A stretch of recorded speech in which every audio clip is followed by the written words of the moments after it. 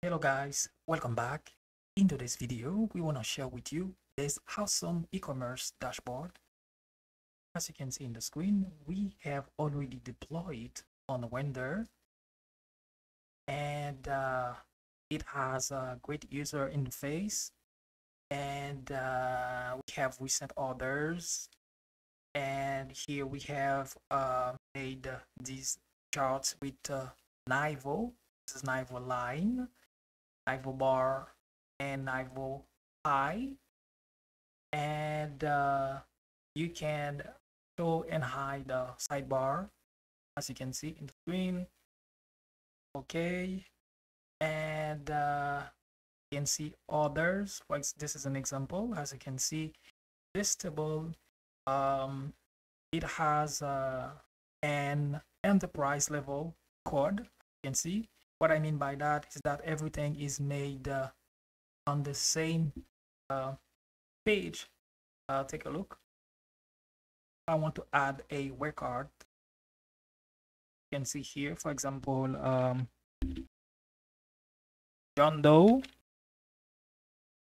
Okay, and age uh, 25. Select uh, today, join date today, and uh, department, for example, um, development and save. As you can see, everything is made in one place like enterprise application. And if I want to delete, uh, uh, I can delete it. But obviously in uh, wheel application, you need to add um, something we called some a pop-up to confirm um, the delete transaction, right? And also we have products this is an example. And you can download with um, as csv and print as pdf as you can see you can filter all the columns here. Density if you want to be now it is standard compact and comfortable so we made all of these with the greatness of Material UI. So I really love Material UI.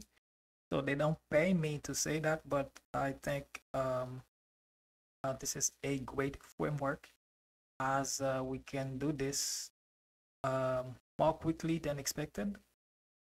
Okay, so all the links um, are working but we don't necessarily have things but the main fo focus was uh, the dashboard as you can see. And also it has uh, the dark theme. Okay so as you can see um here great design the little gradient. And uh, you can uh, show and hide. See this is how it will be so this is great the table. Okay now more maybe for some persons more readable.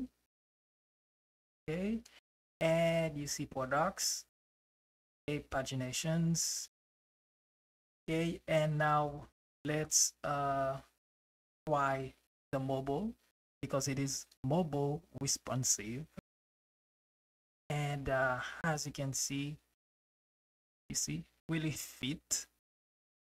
And uh, personally I love it. Uh, and you see this is how it is? You see the drop down? Okay. And the light version like this? Well what to say else? You can see this is the sidebar